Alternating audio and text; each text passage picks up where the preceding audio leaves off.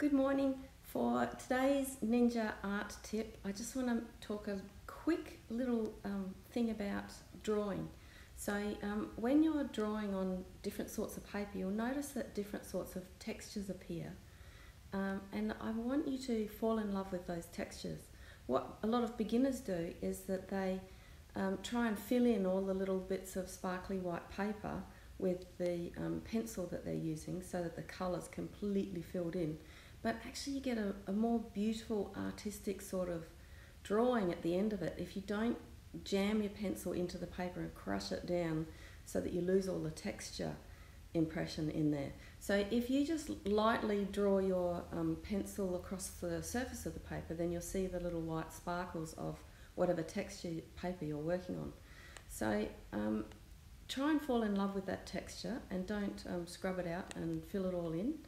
Um, I'll just show you, um, can I switch the camera? Yes, we'll just come around to here.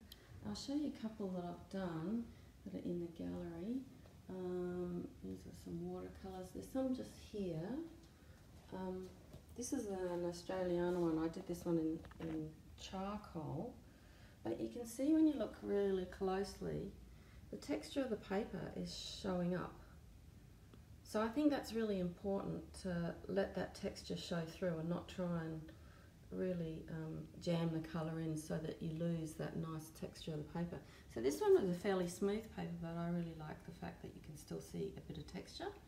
And this one is a pastel um, which was started out in charcoal. Um, sorry for the reflection in the glass. Uh, but you can see in the charcoal under this um, tree branch, you can actually see the texture of the paper and it's really nice to leave that bit of texture. So even in the um, bird um, in here, you can see the bits of the coloured paper still sparkling through. And I think that's really important to get that delicious paper texture. So in a future Ninja Art Tip, I'll chat to you a bit more about different types of paper. But I just wanted to show you that it's really nice to leave the texture of the paper. Don't ram the pastel or charcoal or pencil or coloured pencil or graphite, don't ram it right deep into the paper so that you lose that beautiful texture. So um, let's just take a, a, walk back and see if, uh, I think that's, that's it. Uh, over here you can see um, we've got the gallery set up as um, pottery at the moment. There's a bit of texture in this one. It's a pastel.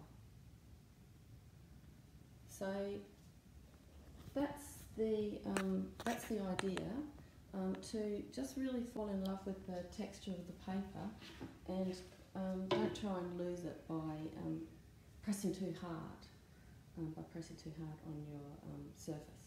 So if you'd like some more tips then join us at the dojo at zenartart.com. There's some more free video tips there and please like, share and uh, comment on the video and subscribe if you're watching on YouTube um, so that other people can see the video so that Facebook doesn't hide it away. So there you go. There's your tip of the day. Thanks for watching.